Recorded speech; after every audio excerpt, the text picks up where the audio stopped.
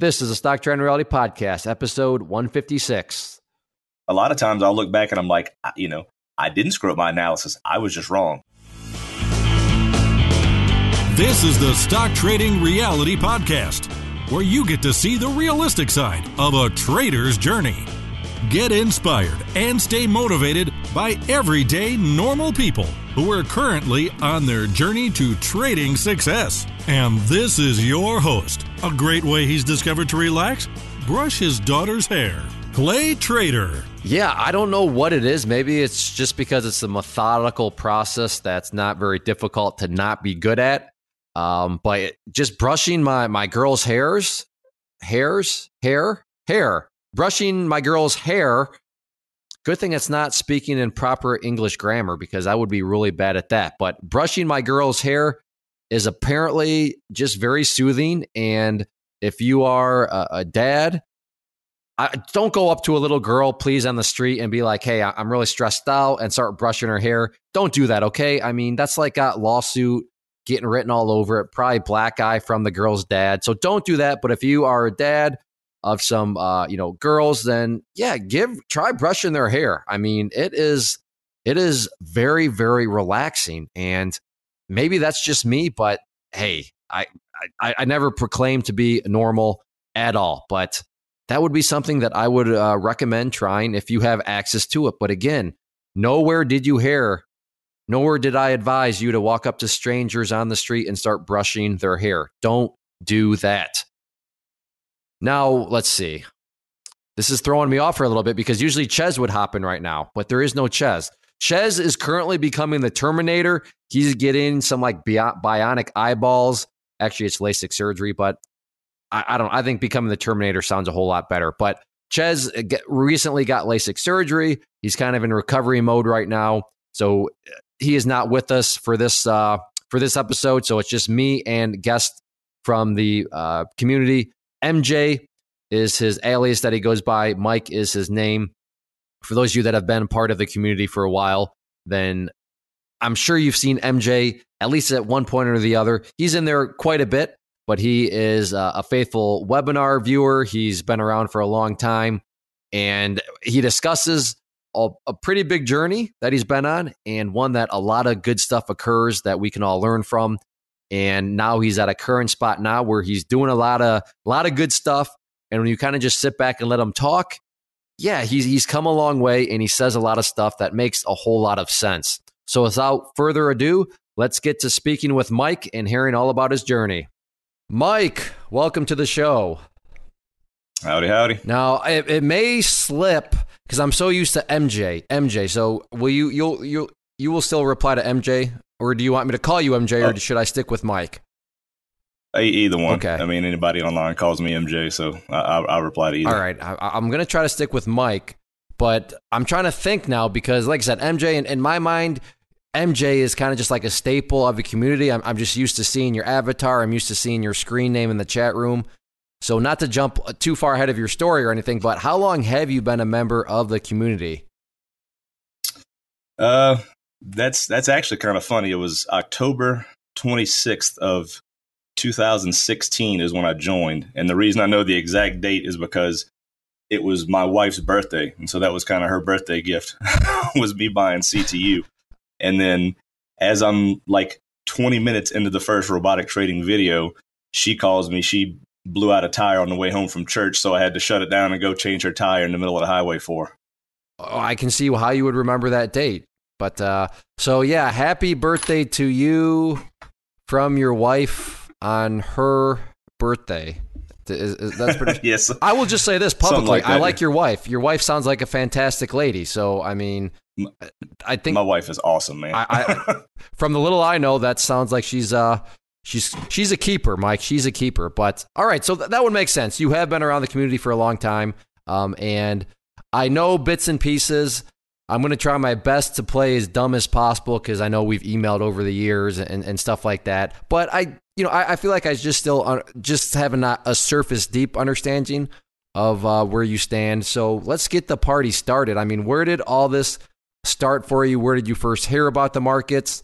And what got you interested enough to the point where you not necessarily threw in real money, but really started to highly consider, yeah, I, I want to get more hands on with real money?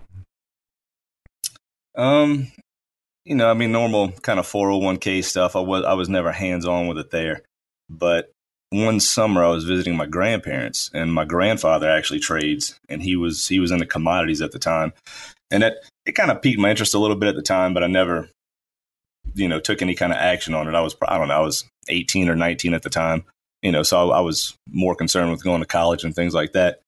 Uh, and then let's see, around 2012 or 13, he had mentioned something about the system he was using and how effective it was. And uh, he said he could he could kind of teach me how to do it, and that eventually it could replace my income. So of course, I heard replace my income, I could quit my job and I'm working at home. You know, so that's that's kind of where it started at. Um, let me ask. Let then, me ask you this because you. I, I, always love when family members are, are trading. So I mean, he was a commodities trader, as in he was doing it all online, or was he doing stuff? Because you said your grandfather. So I mean, or was is he doing the stuff old school over the phone? I mean, was he on the floor of some exchange? I mean, what exactly was he? How was he? You know, trading the commodities, being your grandfather, so obviously a little bit older in years. But how was all that kind of unfolding for him? Because I'm just totally curious. Yeah, he was doing it all online at the time. Um, all the ins and outs of it, I'm not really aware of because, like I said, it was just kind of I found it interesting that he was doing it because you know because you can make a lot of money. Um, so I found it interesting in that aspect, but I never really kind of got into it and, and, researched it or anything until uh, probably three, three, four years ago, something like that. Okay, so it's it sounds like he was doing it maybe like at, in retirement. It's not like he was doing it for a career because, I mean, as a career, he yeah. would have been doing it way before online even existed, right? Right, right. Yeah, he he actually had his own company, which he later sold. Um, so he was well off anyway, and so that was kind of it was something interesting to him, kind of a hobby at first. Um, uh, frankly, it still is, but he's uh, I mean he's retired now, sold his business, and um, so that's just kind of what he does with his time now. Okay, all right, that makes sense. I thought he was, you know, he did it as a career, so he was back in like the olden days of calling, you know, just however they did it back then. But that makes sense. He sold his company, felt, hey, you know what, I, I want to still keep my brain engaged somehow, and he chose uh, commodities trading to do all that. So awesome. So I mean, uh, the the system, he mentioned it, like you said, replacing income that got your antennas to, to stand up, like I think anybody would, and he, he was going to teach it to you. So I mean, I, I guess let's pick things up from there. What was the system? What you know? How did it all kind of? How did the system work? And then how did it all work out for you? Uh, well, spoiler alert, it didn't work out very well. Um, and, and, and, and, I, am not going to even blame the system. It was more, it, it was more a fact that I, I couldn't, I couldn't emotionally handle the risk that the, that, that the system came with. It was because the thing is, I, you know, I, I, knew nothing about the markets. I'd never traded, you know, I, I, didn't, I didn't know what an online broker was. I, knew nothing. Um, but I started watching these videos of, of the guy, you know, going over the system and of course, showing 80, 90% winning trades. And, you know, as long as, but to, to its credit, it had rules and, and, and hard targets and stops and things like that.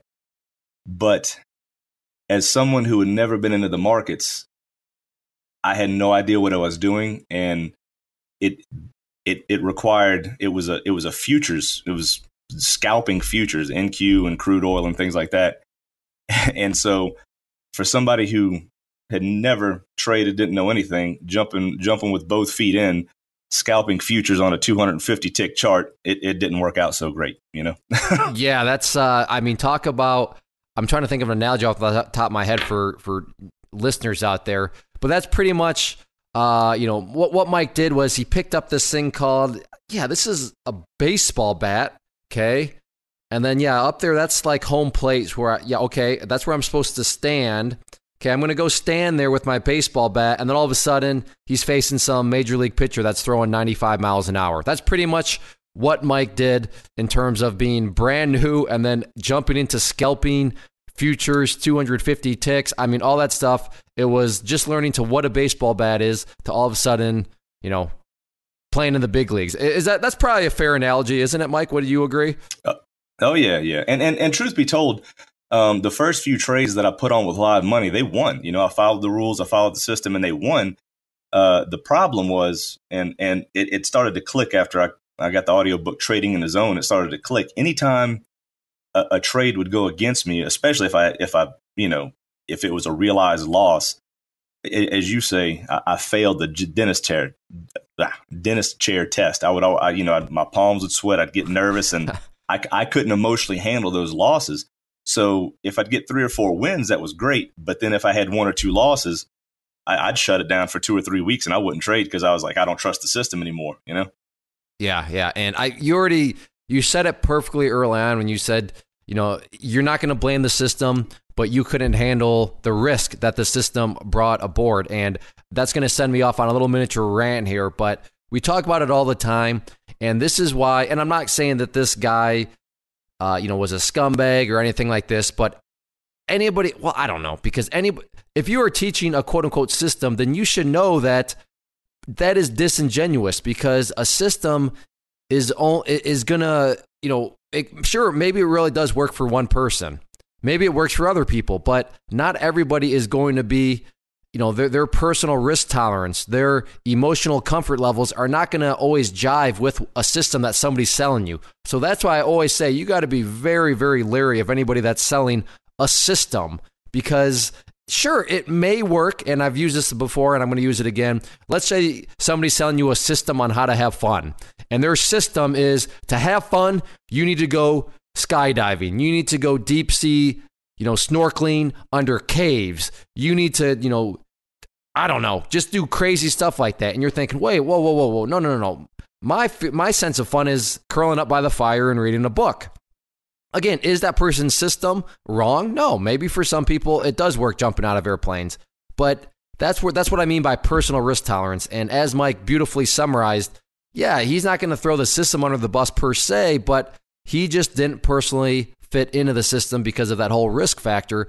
And that's why, you know, Ches and I talk about it all the time. Be very, very careful of somebody just selling a system because sure, it may work for them, but is it going to work for you? Well, I don't know. That all depends on your kind of personal risk tolerances. So, I mean, how long did, and I, I, I should know, I'm trying to understand. So, you take, like, let's just say three winning trades, four winning trades, and then a losing trade or two would come were those losing trades wiping out all your gains or or no? I wouldn't say all of them. Um, but for example, a winning trade would be X amount of points on an NQ chart for say 60 bucks or something. And then a losing trade, you know, would be 80 bucks. So after a while, I, I was kind of like, this, this doesn't make any sense. I, I, I have to win two to cover up one loss. And it doesn't even, you know, it's it wasn't even like a one to one risk risk reward risk reward, and it just eventually it was kind of like this doesn't make any sense to me. I don't I don't like the way this is going. Um, right, right. So because I was then- I was under it, it, put me under pressure to to win like every trade. It's like I you know sure I mean this you know and, and frankly it was just you know it was some package up uh, you know moving averages and stuff like that, kind of your typical system that somebody would sell. But I I didn't know any better, and but like I said, it was just I was under so much pressure to win every trade that I made because one loser would wipe away, you know, one and a half trades. And so that that that didn't that didn't work out very well for me. That's yeah, I was just gonna say it sounds like, you know, based on the math that you were describing, I'm not gonna say uh, you know, that it, it won at work, but very clearly, given the math, it is a high win rate required strategy in order for the math to work out. And I, I can totally, especially, I mean, remember, listeners, the context here is Mike is brand new. So brand new, it just keeps getting better and better. Scalping intraday futures where now you have to win a high percentage amount of the time. Uh, like you said, it didn't end up working well or didn't end up working out for you. How long did this all last before you finally said, you know what, I, am going to just, I, I'm done with this strategy? Um, probably close to three years. And the thing really? is, I wasn't Whoa, three years. Yeah. Woo, I was not. Ex- I was thinking three weeks, maybe three months. No. Three years. Well, that caught me off guard. Okay. Well, see, here's the thing: is I was very patient about it because, like I said, I would lose a few trades and then win. I, it's kind of weird. I wasn't like in a rush to make a million dollars. I just wanted to kind of make some supplemental income at first, and I paper traded and paper traded and paper traded and paper traded However, I was lying to myself the entire time I paper traded because you know, I, I, would I would start at the far right edge and kind of go tick by tick and say, okay, there's the signal. I'm in at this price, and then I'd go and go and go, and then it would be a loser, and I'd say, wow, and I and kind of I'd look in retrospect and be like, man, you know, right there, I, I broke a rule getting in that trade. I would never break one of my rules when I put real money on the line, so I'm not going to count that one. And then two ah, trades later. I love yeah. it. This, listeners, this is great stuff. This is the and, stuff where, what do you mean? Oh, man, this is great. Yeah, keep on going, but please pay attention. This is exactly how the human mind works and why, how do I make all this money paper trading? And then all of a sudden, with real money, everything goes to crap. Yeah. Great and stuff well, here. So, yeah, keep that, it up, man. That, this is good that's why some of like a lot of your YouTube and, and podcast stuff really appealed to me because I'm sitting there, I'm like, is this guy spying on me? That's exactly the stuff I've been doing this entire time. And so, like I said, I'd, I'd, I'd, I'd get a loser and then I would lie to myself and say, well, that's, that's a rule break. I would never do that. And then I would turn around two or three trades later, you know, on my paper trading, I'd have a winner, but the winner was an obvious rule break. And I'm like, well, I mean, that's a winner. That's a good trade. I mean, I mean, it, it was one of those things to where by the time I was done paper trading, I was so shell shocked that I couldn't pull the trigger on live trades because I'm like, I would get one loser and then I would see a perfect setup, you know, another trade later, and I wouldn't take it because I'd say to myself, well, I've seen that exact setup lose before, even though it, it lined up perfectly with the rules. And then I'd let three, four, five perfect setups go by. They'd all win.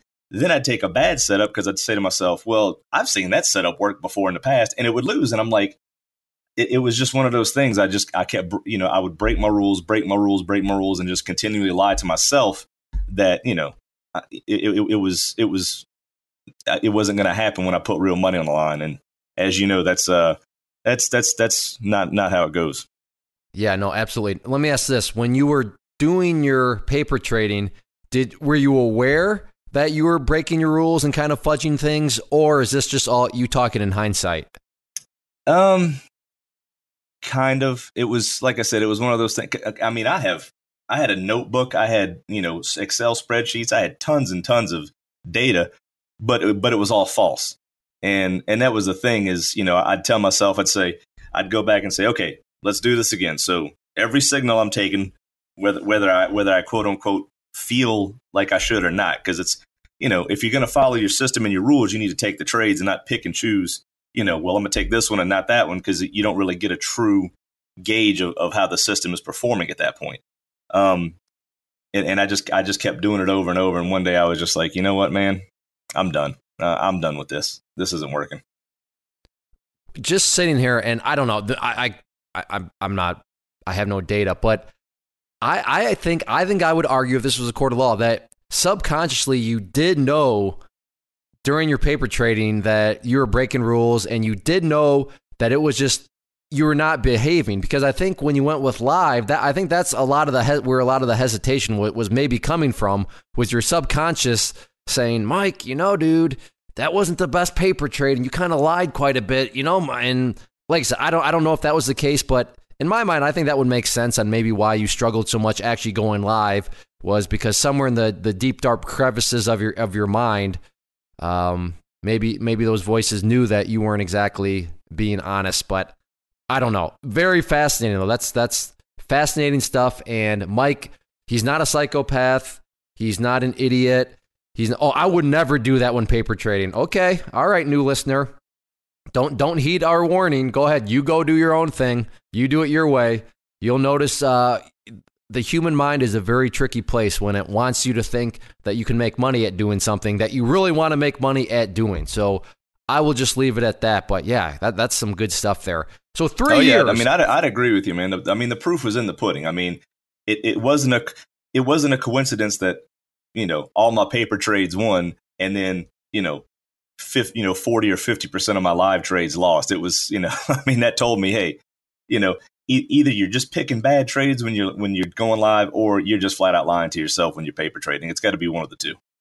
Yeah, no, a- absolutely. That's and um, like I said, if you've never traded or never paper traded, you think, oh, I would never do any of that. Just like I said, heed or warning or go do your own thing. You'll you'll learn very very quickly. So this goes on for three years. So timeline wise, what where are we talking? 2016 then when you finally stop, or I mean, where did where are we at timeline? Um, yeah, because it was probably around, uh, I'd say late December of uh of 2014 when I kind of you know started you know looking at the system and reviewing it and things like that, and then like I said, it was October 2017 when I when I got CTU. And I'll be honest, I, I, still hadn't used, I still hadn't quit using the system at that point. I still wasn't trading live with it, but I still was testing it because, you know, like I said, I mean, whether the system was a scam or whatever, I mean, when I looked, it was, you know, hey, when, I follow those rules to the T, it worked out more often than not. Um, yeah, I just couldn't handle the, handle the risk. And uh, truth be told, I still have the system. It's still on my computer, and I've actually adjusted it since to, you know, to fit my risk. But I, I mean, I, am still not using it. But so yeah, it was, it was like I said, it was probably probably December of 2014, and then like I said, October of 2016. So probably closer to two years, I guess. Maybe maybe not quite three.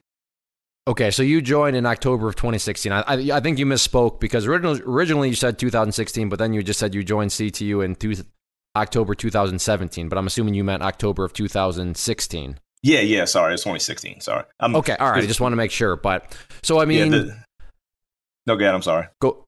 No, go ahead. Go ahead. Oh, I was I was just gonna say I'm because I was so used to saying last year I joined, but I keep forgetting it's 2018 now. So. Ah, gotcha. Yeah, I I can uh, I can see that. So you um, where did you? I mean, do you want to fill in any gaps? Where did in terms of where you you know before you eventually stumbled upon uh, you know clay trader stuff, or or I mean, if, if if there's no gaps to fill, then my question would be, you know, where did you first come across you know clay trader stuff? well, yeah, and that was the other thing is the way I found you was because I was looking for something because I knew, you know, again, not being able to accept the risk. I knew there was something I wasn't doing right. I just didn't know what it was. Like you say, you don't know what you don't know. So I started looking on YouTube and listening to podcasts and things, and I'm like, there is something that I'm not doing right because I'm I'm failing bad at this, and this is supposed to be such a straightforward, easy winning system and all this, and you know, I probably lost about 20% of my account doing it. Um, and so, you know, I, I, ran across one of your videos on YouTube one day, I think. And uh, from there, I just kind of started watching the videos. And I actually went into my um, podcast and searched, you know, Clay Trader. I was like, I wonder if this guy has a podcast. And so I started listening to the podcast from episode one. I've probably listened to, I don't know about all of them, but I've listened to probably most of them, though. Uh, kind of random, but do you have a favorite one just out of pure curiosity, or do you have one that really stands out? Um, Patty. I think I think Patty's two part episode was great. Yeah, I'll, that would. I'll go. I'll go back and listen to that one out, and I'll just cry laughing. That was that was he's he was so energetic, man. That was a good one. Yeah, I I think he. I don't think anybody has been quite as energetic as he has, but uh, I I can see why that one, and I would understand why that one uh, stood out to you. So do you, yeah. Ah, oh, there, no, there's no, one thing I, I left like, out. There's one thing I left out that I just remembered that you're going to like a lot. You're, you're going to love this. All part. right, good. Um, going back to the not being able to handle. Once I realized I wasn't able to handle the risk of of what the system offered, I decided it was because my account size wasn't big enough to take on the type of risk that I was taking. So, oh, here we in, go. In order to increase that account size, I took a loan on my 401k to increase my oh, trading account. Here we go. now, now before you kill me too bad, the the the. I'm not going to kill you. You'll probably kill yourself. Or you clearly know that this was not smart. So I don't think there's anything I need to add on here. Yeah. Now the the, the only saving grace was the, the the interest on the loan was like four and a half percent, but I basically pay it back to myself, back into my 401k. So it wasn't like I'm losing money. But still, I wouldn't recommend anyone taking a loan on your 401k to put in a to put into a trading system that you don't believe in. Would you recommend anybody take a loan on anything to trade? No, no, no, not, no, not at all. Why? Why would you say that? I real I know you know the answer, but for listeners out there, because maybe they're thinking, "Oh, wait a second, so he didn't technically lose any money," and he's. But why? Why would you say, you know what? From what you've learned now in your in your multiple years, why would you advise somebody listening that maybe now contemplating doing some sort of loan? What would you tell that person? Well, because if you if you if you don't, uh, you know, uh, I mean, it's it's it's cliche, you know, only trade using risk capital, but you never really understand what risk capital is until you start to trade. It's like if if I can't afford to put this money in the trash can and light it on fire, then I can't afford to trade with it. And so when you take a loan, it, when you take a loan, then you have to pay that loan back, right? And so every day, every day that you go to place a trade, you're, you're going to say, well, I need to make X amount of dollars to pay this loan back, and then the and then the loan is X amount percentage, so I need to make that much more on top of it, and it's it's just going to lead to you forcing things and making fool, uh, foolish decisions in your trading, and it's just it's not going to go well. Yeah, and and then you know, God forbid you have a losing trade. So now the mind goes down the rabbit hole of oh crap. So now I'm in the hole this amount. So that means I got to do the and your and your math and your mind starts doing the math, and then you realize okay, and then I got to do that much and make and it's just it gets messy very very quickly. So mm-hmm. yes, shame on you for doing the loan, but like you said, you know it worked out. That's good, but you would you would never do it again, right? Is is that a safe assumption on my part? Not at all. Like yeah, no, not a chance. Good, good. So you, um, I guess. So you you were able to pay back the loan, but when you how long would that was that loan outstanding before you finally got it paid back? Oh, I mean, it's I'm still paying it. They just kind of pull it out of my check and put it into my 401k every month. So okay, all right, yeah. but you're you're not using any of that money to trade. No, no, no, no, no. Okay. So the loan is outstanding still, but you're not using any of that as risk capital. Right. Yeah. The the, the loan just it, it it just it goes into my 401k every single paycheck. Okay. All right. I, I just want to make sure that I didn't mishear something and then here all of a sudden you are still trading with some sort of form of a loan, risk capital, but you are not. So, okay. Crisis averted. So you I'm trying to think because I try to pride myself. But ah, yeah, the the emails are getting. Did you join Inner Circle first and then Clay Trader University, or did you just do the whole kit and caboodle at once? What was that whole sequence? Yeah, no, I just jumped jumped straight in. Um, because because like I said, I'd watched some of your YouTube videos and then I got onto the podcast. And uh, going back to Patty's podcast, I heard him say how you know he had joined and got a couple courses, and then he wanted to buy CTU, and he wasn't getting the refund for the courses he had purchased because you give, you know, you, you, you feel like the benefit should go to those who are willing to take the risk. So when it came time for me to just finally decide, I was like, okay, I, I can pay the hundred dollars and see what this thing's all about, but I know I'm not going to get it back. So I was like, I'm just going to get the whole thing. And I, I'd had some email correspondence with Ches, uh, and I was, you know, I, I was waiting until uh, some things were settled, and then I had the extra money to get it because um, I had refinanced my house right around that time, and that's when I had you know some extra money available. So I talked to my wife. Going back to my wife, I said I was like, you know, what I'm doing is not working. Um, I found this guy that seems genuine. I, I trust what he has to say, and I'd like to buy his course. And she was like, "How much?" I said, two thousand dollars. And she kind of looked at me. She's like, "If you think that's gonna be what you need, then go for it." She's like, "I'm I'm all in with you." So do what we got to do. So that's when I pulled the trigger. Dang, I, yeah, your wife gets better and better. So let me ask this though: Have you always been an open line of communication with your wife and all this and, and your trading since you started? Yeah, she doesn't really care too much about it, you know. Um, so, but but if she if she asks about it, I tell her. She just you know she'll sometimes she'll say how how's it going, or sometimes I just offer up information. But I mean, she she knows after my experience with last deal, she knows it's, it's not, she knows I'm not putting this in the poorhouse. You know what I mean? Like she's, she, she, she knows I'm taking it super, super slow. So she's, she's kind of surprised when I tell her if, if I made some trades, you know? Okay. All right. And I just bring that up because it sounds like you and your wife have good communication. And what I'm trying to convey here to, to listeners is remember, if you're, if you're jumping into this trading thing, please, please I'm not saying you have to walk your significant other through every little detail because, like Mike, and I can attest to my wife, their eyes would probably roll back in their head and they would just say, Oh, that's great, honey. I don't know what you're talking about. But just don't ever try to do anything behind their anybody's back. And I, I think that because Mike, and maybe I'm uh, maybe I'm wrong here, but I think it's a safe assumption, a logical conclusion to think that because you were always um, you know you're always communicating with your wife that when you did communicate more that hey I, I, think this system would work. I think this you know this program that this guy named clay is selling it sounded like she totally trusted you. And my guess would be the trust was coming from the fact that you've always communicated with her and not done anything behind her back. Is would you agree that maybe that's where some of that trust is coming from, just based on the fact that it's not like you're you're, you're trying to hide anything from her. Yeah, I mean, 100. percent I mean, we I mean, we have zero issue telling each other anything that we need to say. So awesome, awesome. So yeah, just quick little relationship advice there. Uh, and I'm not even trying to be funny. If you are going to do trading, you you can't do this stuff behind your you know significant other's back. Be an open book. Be full, uh, in full communication because um, it is a team effort for sure. You need some sort of supporting cast. You don't want to go this uh, go this uh, go this road alone. So let's see. Your wife green lines it, green lights it. You buy it. You're 20 minutes into watching robotic trading. You got to go change that tire on your wife's birthday.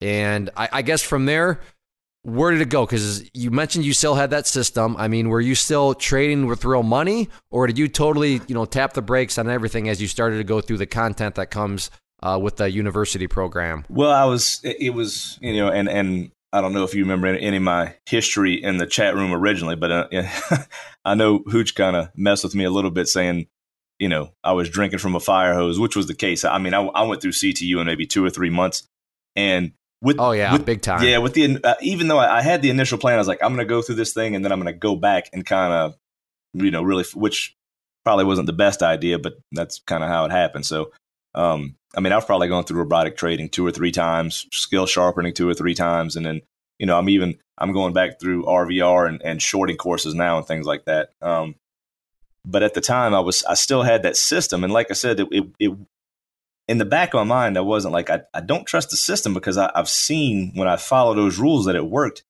but still, I couldn't follow the rules because it was too much money. And so I probably made, I don't know, maybe two or three more trades with it. And that's kind of, kind of like I said, that's when I was like, you know what? Nope, no more. I was like, I'm just going to stop altogether and figure out where to go from here. I'm going to go through the courses. I'm going to learn how to do this right and then figure out, you know, what my style is. Okay, very nice. Now, um, this second time through, uh, how long did that did that take you? Was that because I mean we're in we're in 2018 now. You got it in 2016 October. So I guess because uh, I know you. Let me ask this because I know you got interested in forex. So where along all this did forex pop into the equation for you? Um, that was probably around August. I, I think August, J- July or August, maybe. Um, I know it was over the summer. But like I said, I, you know, I haven't gone all the way back through all of the CTU courses because some of the things, options and advanced options, I'm not really focused on right now. But I'm I'm mainly looked at. I keep looking at RVR and and shorting, trying to learn the the, the strategies that you show in there. Uh, and so it was probably around July or August. I was I was walking my dog, and so usually I'll listen to a podcast or something. But I just pulled up the forex course on my phone. Uh, oddly enough, just to kind of have some background noise. And as I started going through the through the videos, the the more I, the more I watched it, I was like, I, I I realized that with forex, I could control my risk so much more than than with the futures. Um, you know, because even you know, say a, a, a on a crude chart, I mean, it's that that's ten dollars a tick, and if I'm risking you know eight to ten ticks every time, I mean that's a hundred dollars every time, and I just I, I wasn't comfortable with it. So once I started to realize that I could control my risk with Forex. That's kind of where I was, you know, I, I basically made the, once I finished that course, I basically made the decision that day to close down my futures account and transfer all that money over to, a Forex account. Awesome. I did not you didn't tell me that, right? Yeah, I feel like I've never. I didn't know you were walking your dog, and that's where you eventually uh, heard about forex. Yeah. So that's uh, yeah. The, the, the weirdest places we kind of stumble across. Hey, that that makes a lot. That makes a whole lot of sense. So you out walking your dog. Now, the forex, you know, adventure starts, and uh, I mean, you, I'm assuming you, you you paper traded it for a while, or I guess kind of just pick it up from there. You make the decision that you wanted to do forex. Where did things lead from that point? well, that's the thing. Um, so so I start the forex, and I'm going through the courses, and I start to say, you know, I, you know, I'm like, okay, I, you know, I like this this panic buy strategy. I like this, uh, you know, disgruntled short. You know, whatever the strategy may be. And so I, I would set up a chart and I would look for those setups. And so basically, what I would do is I would go through and I have like a little uh, risk risk reward calculator on my platform. And so I would get to a point and I would say, okay, th- there there's a setup. I, you know, here here's where I would want to enter. here's my stop, here's my target. And so basically, my paper trading, I would kind of go through and, I, you know, if it would hit my target, I'd put a green arrow, hit my stop, I put a red arrow, and just kind of go through. And, and really, what I was doing was just more so trying to train my eye to recognize those setups. You know what I mean? Um, right. And and the thing is, um, that that's kind of how my paper trading went, and I, am still doing that, and I still, but I, I do trade live now. Um, but it, I kind of use that as my paper trading, but I keep my risk so small. And when I say small, typically it's considerably less than 1%. I'm talking like 10 cents a pip or something like that. And, you know, I, I know a lot of people don't, don't, you know, they'll, they'll shake their finger at you for, for knowing that you have live money in the market when you're, when you're quote unquote paper trading. But for me, I keep the risk so small that the risk is I, I don't even notice it. If, if I lose the trade, it makes no difference. But the fact that I actually have real money on the line, um, it forces me to pay attention to that trade. Because one of the downfalls that I know, like going back to when I paper traded originally with that first system, I, w- I was lying to myself, right? And so now that I can minimize that risk to such a degree that it's unnoticeable in my account when I lose, there's no way for me to lie to myself because even though the risk is that small, it's still real money and it still really comes out of my account. So it forces me to be honest with myself when I'm trading. No, that makes good sense. And what you're saying, I I kind of agree with, but it's a it's an apples and oranges. If you were to say, "Hey, listen, I just I, I'm brand new. I watched some YouTube videos, and I'm just going to go with live money." because I, I can't pay attention and I want to, you know, treat this right. So here we go. I would say no. That's first off, you don't even know what to practice. And second off, I mean, you don't even, when you don't know what to practice, you don't even know how to monitor your risk in a logical way.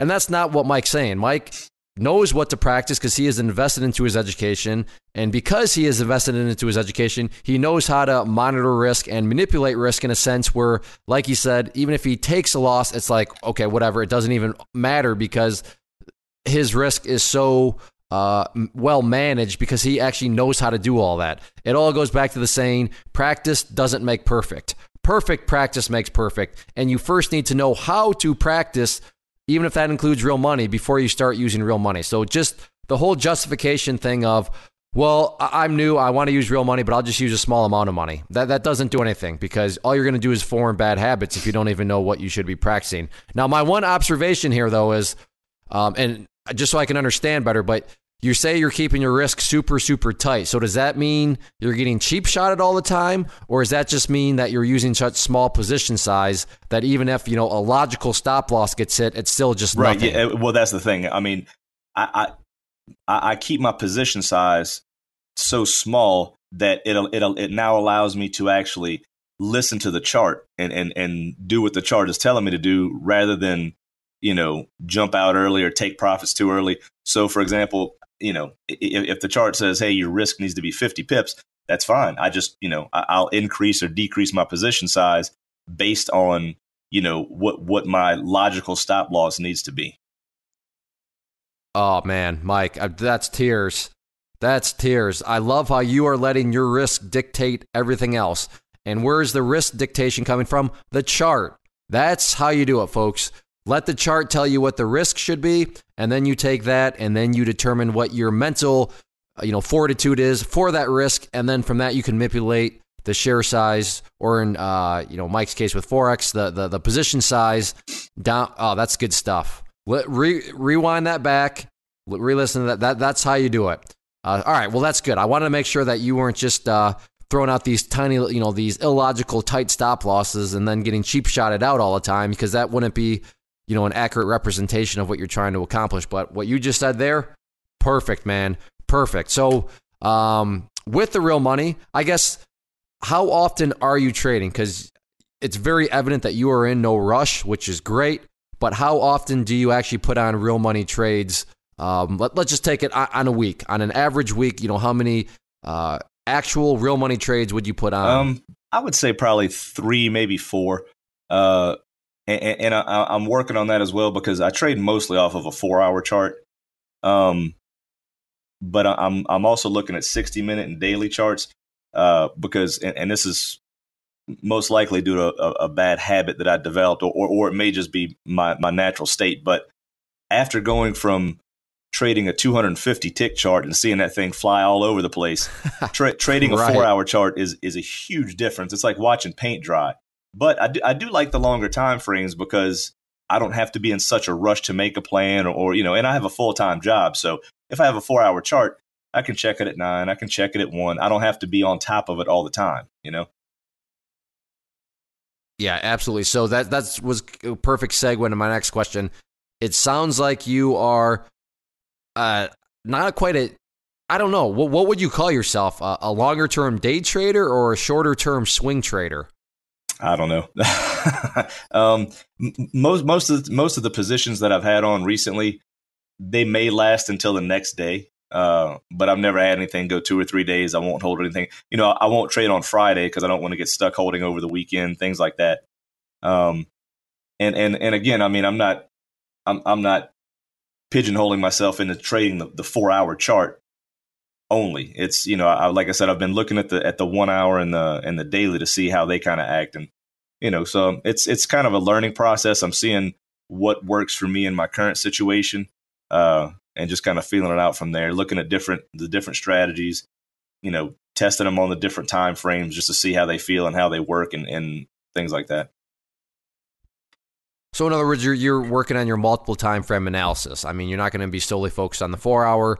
You're trying to bring in the 60 minute and the daily, which is just that's just good practice because you want to get uh, a few different you know time frames and angles to keep an eye on thing. And I, I guess I don't know what.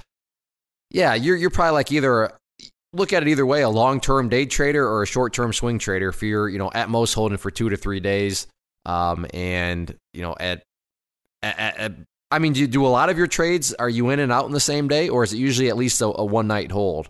Um, it, it's hard to say, really, because I mean, sometimes they'll they'll roll over to the next day. Sometimes they'll close that night. It just depends on how the market's moving. Um, I, I would honestly, I, I, would say probably 50-50. Um, it, but it, it, it never goes okay. to you know. So I'll I'll put a trade on at say nine o'clock in the morning. I've never had it roll over till about you know 10 o'clock the next night or anything. If I put it on at 9 a.m., it's usually it's usually out by by you know I'm either stopped out or, hit my target or or one of my targets you know by the end by the end of the night. Okay, all right. So that no, that's that's a good answer. So I mean, you are definitely not looking to be, you know, in and out within you know 15 minutes, or like myself, in and out with the, within a minute.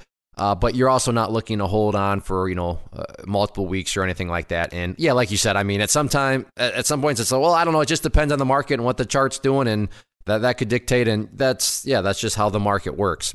And you have been, how long have you been up to to doing this current strategy? Uh that's a good question. Um, I, I would. I, I feel like it's been at least a few months, hasn't well, it? it? That's the thing. It's not. It's not a one particular strategy. Like I said, I've looked at the panic buy and. I, I sorry, sorry. I mean, just the strategy of forex trading with real oh, money, oh. I, and and where you're trying to find oh, yeah, things. Um, yeah, pro- probably. I would say late December, late late November, late December. Because um, one of my goals for this year was I want to put on you know, I, I want to try to put on a trade every day if if if the chart tells. I, I don't want to force a trade, but I want to try to put on a trade every day, uh, just just one. But that just to get in the habit of you know actually trading and putting money on the line. Because like I said, going back, I was so shell shocked from losing initially that I mean I was I, I couldn't I couldn't pull the trigger on any trade even if it was perfect. You know, so I just I want to I want to get where I'm comfortable putting money on the line as as small amount as that may be, I want to get comfortable where where I'm putting money on the line every day and I'm feeling that risk every single day. You know. Yeah. Okay. No, that that makes good sense, and that's what I was going to think. From when I knew you started trading with real money on forex, I, I could have sworn it had been a, a couple of months. So yeah, originally poorly worded question on my part. Now, as far as do you have any favorite pairs you like to trade? Uh, and also, to kind of piggyback that question, because you do have a full time job, and a lot of listeners, I'm assuming, have jobs, and that's kind of one of the nice things about forex is there there's markets all over the place where you can trade pretty much any time period. So I mean, walk us through kind of the logistics of trading forex with a full time job. Uh, well, the way I have it set up is is is I've got I don't know twenty something pairs on there. I don't trade all of them. What what I do is I, is I have the major pairs kind of at the front. I've got tabs on the bottom of my chart where I could just click a tab and go to euro, dollar, you know, pound, dollar, whatever.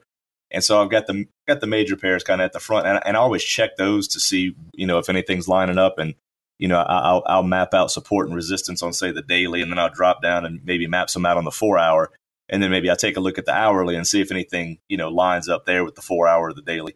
Um, so so pretty much the major pairs, and uh, it, it you know as it's it's kind of like as the day progresses, sometimes the spread will will widen. So you know at nine o'clock in the morning, the spread may be one and a half pips, and then you know at ten thirty at night or eleven o'clock at night when volume is lower, it may be eight pips. Sometimes you never know. Um, so I like to try to you know catch them earlier in the day when the spread is smaller, and that way I'm not you know I'm not ten pips behind the eight ball the second I put a trade on.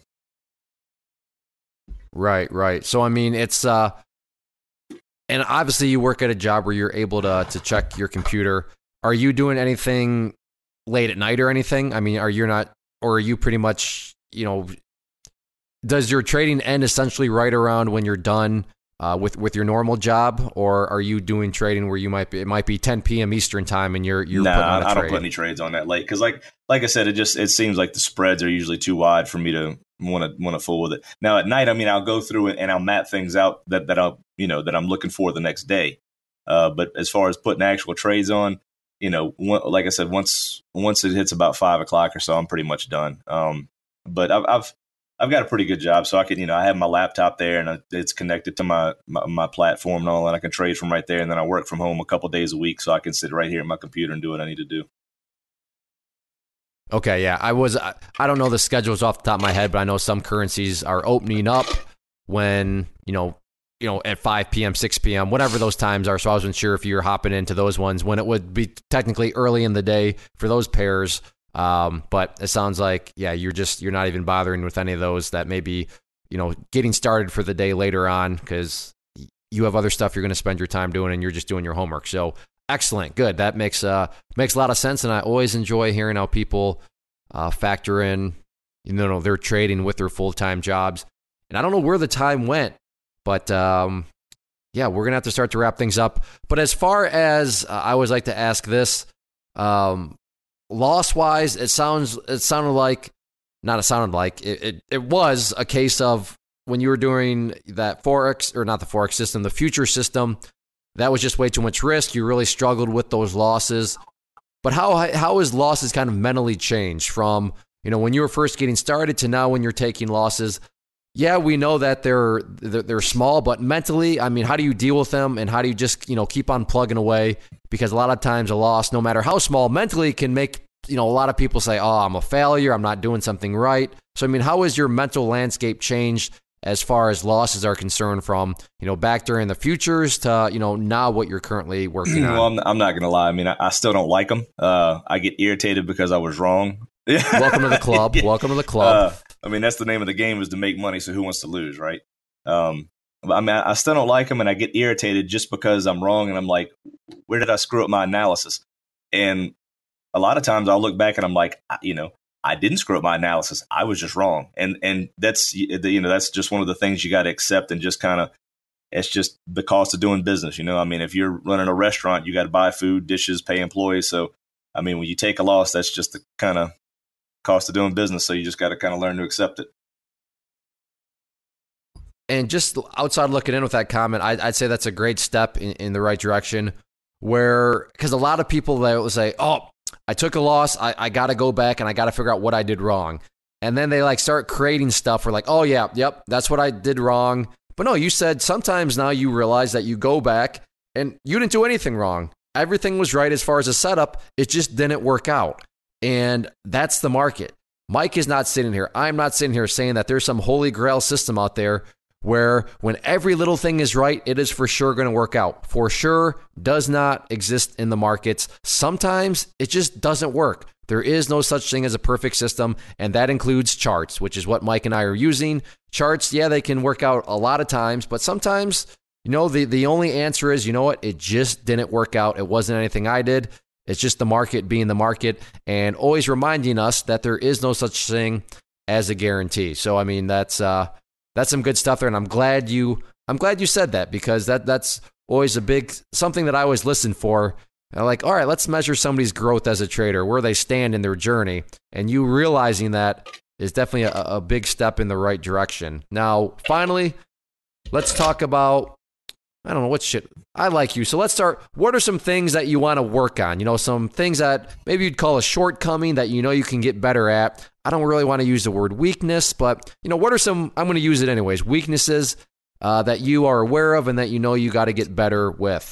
I would say focus. Um, you know, I, I mean, I'm, I'm, in the chat room some, but I don't stay in there all day um, because I find that I'm, you know, I'm, I'm like a, you know, a psycho dog just chasing a laser around a living room. Like I'll see something, I'm like, I'm like, oh, hey, there's crypto, or hey, there's options, or you know, hey, somebody's having success with this. So I, am aware enough to know that that I just need to kind of focus on one thing and stay in my lane. And I, I still struggle with that. Um, now, now I'm I've narrowed it down to forex, but now it's like, okay, what strategies do I want to use? And so it's kind of test and learn, test and learn, you know, um, and patience. Um, not that I'm in a hurry to to get rich or quit my job. It's, it's none of that. Just you know, I, I get impatient when when my my analysis is wrong or, or when I lose a trade, like I said, and I want to I want to see that the the strategies I'm using and the trades I'm making. I want to see that they're working out working out more often than not, and I want to see those results quickly. And I've just got to realize that, relatively speaking, I'm still kind of new, and you know, it's it's okay that I'm not a great trader right now. You know. Yeah, always the, the one of the cruel catch twenty twos of the market. It takes ambition to succeed. You're clearly an ambitious person, but the downside of ambition is, well, you want to succeed. Why am I? I want to succeed like really bad. I'm ambitious, and it just takes time. So, uh, the market and its cruel personality. And then, what are some things that you think uh, you do well? So, what are some of your strengths? And I'm just gonna I'm gonna give you one strength you're very self-aware now. I mean, listing all those things that you want to work, work on, especially the whole kind of chasing shiny objects. Um, you you are aware that you tend to do that, um, and now that you're at forex, you know, okay, now I need to stay at forex. So I will say one of your strengths is very clearly um, your your self awareness in regards to you know many of those attributes. But what are some things that you that you feel good about in terms of your your trading and kind of your approach to all of this? Um, th- this may sound kind of counterintuitive to the to the focus comment, but I would say I'm pretty disciplined. Um, when I when I when I make a plan for a trade, I define my risk, I define my target, and that's it. If I lose, I lose. If I win, I win. That's great. Um, so, for example, what I'll do is is when I set up a plan, I, I, I start off with a one to one risk to reward, and if it hits my first target, I take off half my position, move up to break even, and then I'll set a second target and sometimes you know what that's another thing i'm working on is is, is it more profitable when i hit my second target should i trail it so just kind of one of those learning things but um you know again going back to the risk is i, I just I, I, don't make those foolish decisions anymore. I don't jump out early. I don't take profits too early. So when i put the trade on I, I define my risk and, and my reward that's that's what it is and it doesn't change it. You know a, a, scalp doesn't turn into a day trade into a swing trade into an investment for me. It's just once it's on that's it you know? I that's uh, I laugh, but I just laugh because I see that all the time. And and heck, heck I just did a, a video on YouTube um, where I talk about you know how do you blow up a you know how, does account destruction begin, and it just begins forming those bad habits. Where they're I use an example from YouTube where somebody's you know, the, the, one day is telling me how it's a day trade and there's their stop loss. And then literally the next day, they're commenting on the same post saying, well, it went through my stop loss, but you know, I think there's more catalysts to come. So now I'm going to be a long term investor on it. I'm just thinking, but just yesterday you were telling me you're a day trader, and yet, so I mean, it's out there. So I'm, I'm glad to hear that you just stick with the original plan. So, um, yeah, are you coming to the webinar tonight? Uh, yeah, I should be on there. All right, good. Because uh, for a little context, we're doing this uh, on a Tuesday night, and Tuesday nights are when our ClayTrader University live webinars are at. And that starts in, let's see, I'm not a mathematical genius, about 22 minutes. So I really have no choice to extend this out because I, I gotta, you know, we gotta keep moving anyways. But uh, I'm definitely gonna have to have you back. You would come back, right? Absolutely. Good, good. You know what's coming though, right? Before I before I let you go, because you've listened to pretty much every podcast. You ready for the fun questions? Let's do it. Let's do it. What is your favorite movie? and I know you're gonna hate me. I'm I'm I'm not a huge movie guy anymore. My wife and I kind of watch more television series. And so, oh, I- well, what's your favorite television series? We can roll with that. Well, well, I, I came up with a movie for you because I was thinking, I was like, what's? I don't know that I have a favorite movie, but if if it's if a movie is on TV, am I going to stop and watch it if I, even if I've seen it a hundred times? let me two- guess. Let me guess because I feel like this movie's on all the time. Can I guess real quick? Go for it. Shawshank Redemption. No, but that that's a good one. I do I do love Shawshank right, I just Redemption. feel like that one's always on TV, but so I thought high probability guess. Yeah, what- what I was thinking my is- part. Yeah, what I was thinking is, you know, if it's on TV and I will I stop and watch it. And I'm I'm a sucker for one-liners. And so two of my favorite movies to, to that, that that I use lines from are Big Lebowski and Pulp Fiction. I love both of them. Yeah, I've I've seen both. I've not enough for me to be a, a quoting expert, but uh, yeah, I feel like those are movies where people aren't going to look at you and be like, "Wait, what?" Those, those seem like good kind of hearty American class. Big Lebowski, that's more of a cult classic. though. Yeah, Would- yeah, would- that's probably more of a cult classic, but everybody knows Pulp Fiction. yeah, absolutely. So, all right, well, you can't tease me with the t- the, the TV series stuff. So, what's a TV series that you and your wife, uh, maybe not necessarily your favorite one, but just one that you've enjoyed? Um, we like comedies. I like to watch Scrubs, um, Always Sunny in Philadelphia, and then uh, Arrested Development, The Office, stuff like that. And then on, on the more serious side, stuff like uh, um, Breaking Bad. And then uh, I'm a big fan of documentaries. So anytime there's like a docu series on Netflix, I'm I'm all in. Nice, nice. Always Sunny in Philadelphia. Hooch recommended that to me like a year ago. That I got to watch that, and you just brought it up. So apparently that that's a, a a good show to watch. So yeah, I'm slacking. I got to get on that one. What about you're down in Louisiana, right? I'm actually in Atlanta. I was born and raised in Louisiana, but I live in Atlanta now. So I'm in I'm in I'm in enemy territory. I'm a Saints fan, so I got all these Falcon fans around me. Yeah, you got to keep your head down. But uh, so I guess down in Atlanta, then what do you, what's your favorite food? Yeah, again, man, just picking one favorite's tough. Um, I like anything that my wife or my granny makes. Uh, but if I'm cooking, it's going to be on the grill. I'm going to make a. Uh, I like to grill wings, and then I'll mix up some sauce and kind of take them hot off the grill and toss them in the sauce and then bake them in the oven for a couple minutes. Uh, and then, you know, just good old steak and baked potato with some grilled vegetables. And I want I want my baked potato loaded with sour cream. None of that none of that yogurt nonsense. Oh, what do you have you tried it? What a cheap shot. Have you tried it? I, I I haven't. I haven't. I'll be honest. Uh, you should you should honestly try it. I mean, I'll be the first to admit sour cream is a pretty dominant thing, but I you got to at least try it once. I was Oh, that was a good one. Well played on your part. Well I'll, played. I'll, Um, yeah, I'll give it a shot. I'll give it a shot. I was gonna mess with you and say I like to eat guac and chick parm and stuff like that because I know that. Oh yeah, don't even. gears. You said it anyways. You said it in passive. I should end this right now.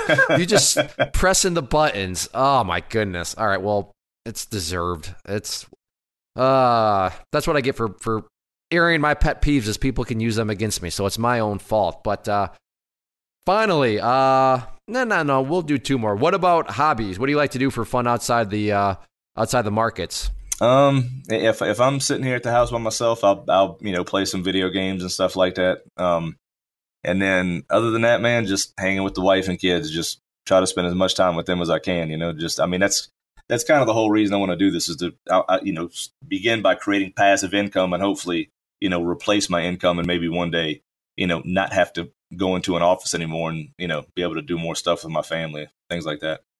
So just Right. play, How know, many kids do you have? uh, got two and got another one due in May. Oh, nice. Congrats. Yeah, Did I know that? I I don't know. Should I have known that? Did you make that announcement in the chat chat room? Uh, I, I didn't really announce it. I just kind of, you know, say it in Said it pa- okay. Yeah. So I got a six-year-old girl and a three-year-old boy, and you know, so I'll go jump on a trampoline with them, and I'll take them bike riding into the playgrounds and all that kind of stuff. Play, play heroes with my son and Barbies with my daughter.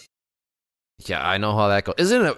Isn't it amazing though the difference between boys and girls, like just how they act and stuff. Like that's what I'm It's crazy. really starting to realize after I got my boy, after two girls, and then you know a fourth girl. But it's like, dude, Trip, what do you think? Like, did that seem like a good idea to jump off of that? And now Um, you have a big. Well, yeah. It's just. Do you have you noticed the same thing? There's a difference, right? Oh yeah, that, that yeah. to, to to relate it to trading, little little boys have a much higher risk tolerance than than the girls. well played, because that's yeah. That was a good analogy because that's extremely accurate. Absolutely. So, uh, yeah, well said. Well, finally, man, we could keep going, but literally T minus 15 minutes now before the webinar. But three words, these three words need to be associated with what you would uh, a, you know consider a successful trader, what it takes to be a successful trader. So, what would these three words be? Well, going back to my um, you know what what I think is one of my weaknesses is focus. Um, I mean, if you're if you if you're trying to you know chase chase every type of instrument and make every single trade you see and implement every single strategy on day one, it's just not going to work out. I found the, the slower I go, and you know, I heard a saying in a in a book that I read called The One Thing. It's if you if you chase two rabbits, you'll, you won't catch either one. And so if you just kind of slow down, focus on one thing at a time, learn what you, you know, learn how to trade, then learn what you want to trade, then learn the strategy, and then you can. And I think you even told me just take it slow, and you you you know before you know it, you'll have multiple strategies that strategies that you're able to implement in your trading. So uh, I think focus is one, um, and I would say uh, simplify or simplicity or simple or whatever word you want to use. But at least in my simplicity is good. Yes, at least in my experience, the the easier you the the easier your system is or your strategy is or or, or you know the easier you make it, the easier it's going to be. So when you you know you don't want to start off trading saying you know I'm going to take Fibonacci reversals at the 38% level on a Tuesday when the moon's out and I'm standing on my left. You know, the, the more the, the, more stuff you Im- implement to it, the more difficult it's going to be to, to to to really you know to really get going. Um, uh, you know, so so to me, simplicity is one, um, and the main one to me would be risk. Um, because if if your risk is too much, it's just not gonna. I don't care how good your system is. I don't care how much money you have if you're putting on too much risk for you to feel mentally and emotionally comfortable with it, you're going to make stupid decisions in your trading. Boom. I fully agree. And also on the risk, just to add in, you have to be willing to even take risk in the first place. So, I mean, if that's something where you that's not your cup of tea, then hey, there there's no there's there's nothing wrong with that. In fact, you were like the most of the population. You were like, yeah, yeah, that, that whole that's I'm not that's not my type of risk that I want to deal with and learn how to deal with and that's uh, totally that's totally fine to the general population. But uh, yeah, Mike, that was good. Three good words and a great great discussion here. And uh, you already said that you would come back, so I'm definitely going to hold you to it. And with that, um, you said you're going to probably be on the webinar, so I guess I'll see you in about 13 ish minutes. But uh, Mike, in all seriousness, uh, thank you for being a valuable member to the community, and thank you for always uh, offering up some good comedy, and it's fun been fun to see uh to grow and get better and keep on keeping on, keeping on. So that's good stuff. And uh, thank you for taking time out of your evening. Thank you, sir. Same to you. All right, and we will definitely have him back. Before you go, listeners, the final few things. If you are listening to this on the website itself, claytrader.com, the show notes page, make sure you click that share button. You can leave comments down below. We will read those and reply to them. If you are listening on YouTube, make sure to check out the rest of the channel. There's lots of other videos and such, live trade videos, tip videos, case study videos. Uh, there's a vlog. There's all sorts of stuff. So make sure you check out the channel as a whole. But be sure to like this button, like this button, click the like button, and then go and hopefully decide to subscribe to the channel. And then finally, if you are listening on iTunes or any of the other podcast players, make sure to subscribe. And especially on iTunes, if you could leave us uh, a good solid ranking. That helps us out quite a bit. It gets our name out there. And it's one of those things where if you never spend a dime on the site, that's totally fine. But if, uh, you know, you want us to keep making these, uh, a review like that really does go a long way. So thank you to all of you as viewers. Thank you again to Mike. I will see you back next week. This has been the Stock Trading Reality Podcast. Thanks for taking the time to hang out. To learn more about Clay and the Clay Trader community, including the trading team, premium training, and more, visit claytrader.com.